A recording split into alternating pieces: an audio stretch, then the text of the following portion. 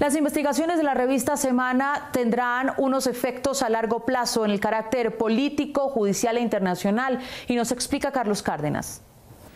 Mabel, las agencias internacionales de seguridad que colaboran con el Estado colombiano y los medios extranjeros cuyos corresponsales también fueron objeto de seguimientos en el país protestarán ante el gobierno por lo que consideran un abuso de los derechos y de sus recursos. El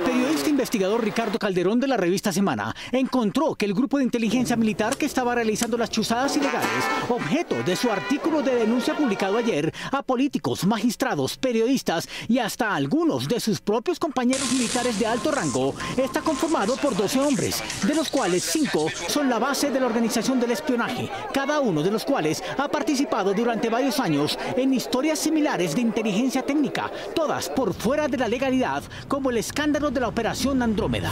En su trabajo periodístico, Calderón también conoció que los militares usaron una herramienta digital llamada Open Sources o fuentes abiertas en español para buscar toda clase de informaciones, incluso en la Internet profunda, de quienes eran su objetivo. Calderón también descubrió que los militares usaron el software Voyager, usado para armar el mapa de contactos de los vigilados con las personas con las que tenían más relación. El ejército no cuenta entre sus instrumentos de inteligencia con esas herramientas. Por lo tanto, se espera que las investigaciones judiciales que se ordenen para determinar la clase de delitos que cometieron terminen revelando quién se las prestó dentro o fuera de la institución.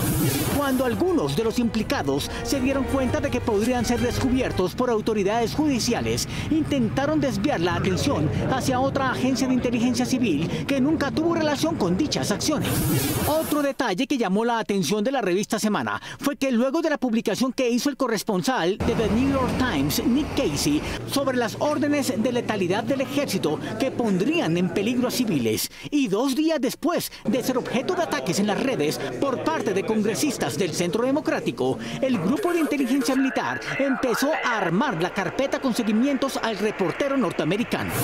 Y también descubrió que después de la publicación de Casey, el entonces canciller Carlos Olmes Trujillo viajó a Nueva York para hablar con los directores de The New York Times en compañía del embajador de Colombia ante la ONU, Guillermo Fernández de Soto. Mientras estos funcionarios hacían esa diligencia diplomática, el grupo militar de las Chuzadas espiaba al sobrino del embajador Fernández de Soto, Aníbal, quien fue viceministro del Interior del gobierno Santos.